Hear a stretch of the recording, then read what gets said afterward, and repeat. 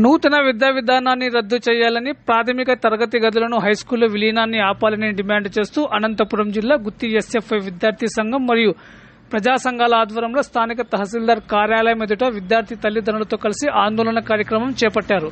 ఈ సందర్భంగా ఎస్ఎఫ్ఐ విద్యార్థి సంఘం రాష్ట్ర కమిటీ సభ్యుడు రమేష్ మాట్లాడుతూ ప్రాథమిక పాఠశాలలను ఉన్నత పాఠశాలలో విలీనం చేయడం వల్ల చిన్నారులు విద్యకు దూరం అవుతారని అన్నారు.